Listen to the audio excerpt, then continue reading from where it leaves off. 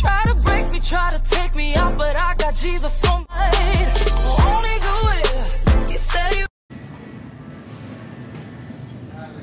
Hey guys, it's me, Darlene. Like and subscribe. I'm in the Publix. I'm looking for. I'm gonna make John a cake today. It's his birthday. Happy birthday, John! So I'm gonna make him a cake. I'm gonna. I'm. I, I've gotten some um cake flour. It's gonna be a homemade cake.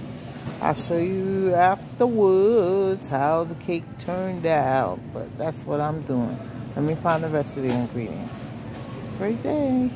Hey guys, I'm in Publix and it's John's birthday. I'm gonna make him a birthday cake. He likes coconut, so it's gonna be a coconut cake. So that's what I'm getting. I need to get the ingredients, and that's what I'm doing. Getting ingredients. Okay, I'll show you the cake after it's done. Okay. Hey guys, hi, it's me, Darlene. I'm making a cake for my husband's birthday, and so is my daughter.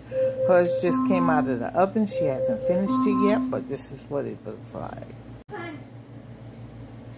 This is what it looks like right now. We'll do the finishing. When she finishes her finishing touches, then I'll I'll be back on. I'll be back on with mine when my finishing touches go. But this is the one mine's look like. Well, can't see. Let see. Mine's is going to be like this. And I'll show you guys my finishing touches when I'm done with mine. Okay.